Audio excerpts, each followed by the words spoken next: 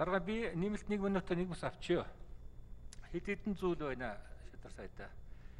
Орон нутгийн нутагт энэ халдвар бас тэгсэнтэй холбоотойгоор орон нутгийн эмнэлгийн байгууллагууд ажиллаж байгаа эмч ажилтнуудад илүү цагийн цалин хөлс олгохдохгүй байна гэдэг асуудал нэлээх гадаа гарч байгаа. Тэгэхээр орон нутгийн эмнэлгийн ажилтан мэрэгчлэнүүд илүү цагийн хөлсийг одоо бас богино хугацаанд шийдэх тийм одоо боломж байна уу юу? Орон нутгийн эмч эмнэлгийн мэрэгчлэнүүдэд хамгаалах хэрэгсэл онцлогын одоо бас хөрөлдсөн хангамжийг одоо бас нэмэгдүүлэх заашгүй шаардлагатай байна. Энэ талаар тодорхой хариулт өгөөж тодорхой арга хэмжээ авахыг бас хүсэж байна. Орон нутагт халдварын голомт үүсэнтэй холбоотойгоор орон нутгийн удирдлагууд өөрсдийнхөө боломжоор орон нутгийнхаа төсвөөс бас хөрөнгө санхүүгийн санхүү нэлээх гаргаж байна.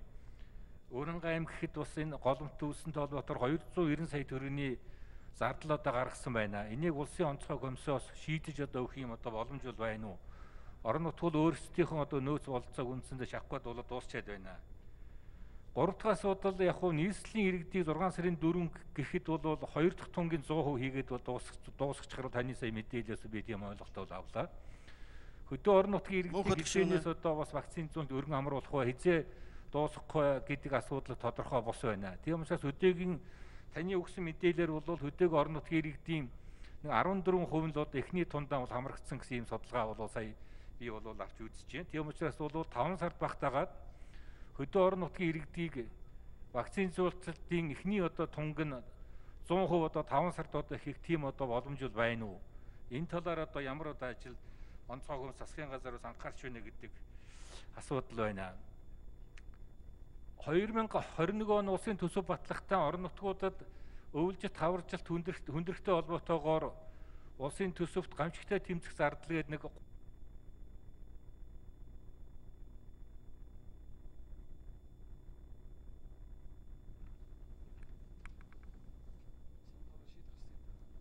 Хэлбэг яг нааш дууж байна. Энд чи э, нэмэх 1 минут, нэмэлт 1 минут чин зэрэг гүшүнд. 21 он улсын төсөвдөр гамшигтай тэмцэх зардлаад 3 тэрбум төгрөг тусгасан юм а.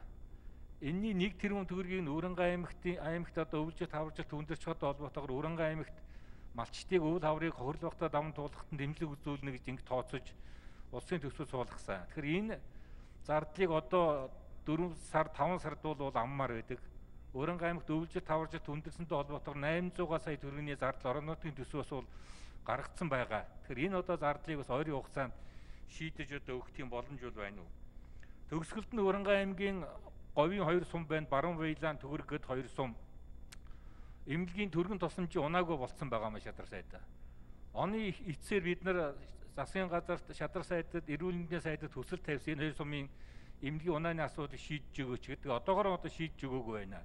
Тэгэхээр энэ баруун Баялан төгрөг одоо хоёр сумын төргний эмнэлгийн асуудлыг ойрын хугацаанд одоо шийдэж өгөөч гэсэн ийм бас нэг нэг хүсэл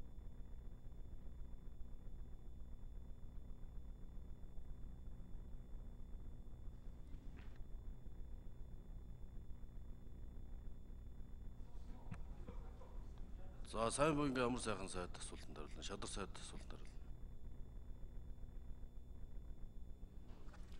За чин зориг гишүүний асуусан нэмэлгийн тусламжийн тэргүүдийг сум орон нутагт хуваарлах асуудал судлагдаж байгаа. За энэ нэлээд олон сумдын хүсэлтүүд ирсэн байгаа учраас бас судлаж шийдвэрлэх тал дээр анхаарч ажиллаж байгаа. Хоёрдугаарт нь гамшигтай тэмцэх зардал улсын онцгой онцгой байдлын ерхий газрын одоо төсөвт 8 тэрбум төгрөг суулсан байдаг. За энэ нь одоо өнөөдрийг хүртэлх гамшигын арга хэмжээнд зарцуулагдаж үндсэндээ одоо бас нөөц хүмүүс байгаа гэж хэлж болно. За орон нутгийн иргэдийн вакцинжуулалтын ажлыг 5 6 дугаар сарда хийж бүрэн дуусгана. 6 дугаар сарын 4-өөс өмнө Улаанбаатар хотын иргэдийн 2 дахь тунг дуусгана. За орон нутг руу энэ 5 дугаар сарын ихээр эхний одоо 7 хоногт өргөн хүрээтэй вакцинжуулалтын ажлыг эхлүүлэх төлөвлөлтүүд, бэлтгэл ажлууд хангад ажиллаж байгаа.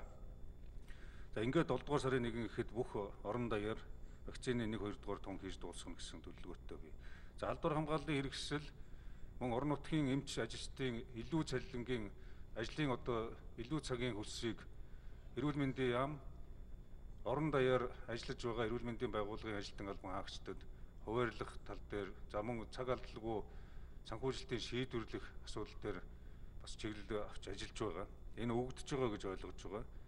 За халдвар хамгааллын нэг удаагийн хэрэгсэл аймаг орон нутагт нэг удаагийн төрөвчлсөн онцлогоор нэг удаагийн хэрэгслүүд эрүүл мэндийн яамнаас хуваарлж байгаа. За бүх одоо хуваарлтуудыг бас хүсэлтүүдийг хүлээж авч шийдвэрлэх боломж тэр болгон ус байхгүй учраас аймаг орон нутгийн төсвийн зохицуулалтыг хийх эрхийг олох асуудал дээр сангийн яамн дээр бас ярьж байгаа. Аймаг орон нутаг өөрсдийн төсвийн хүрээнд зохицуулалтаа хийх асуудлаар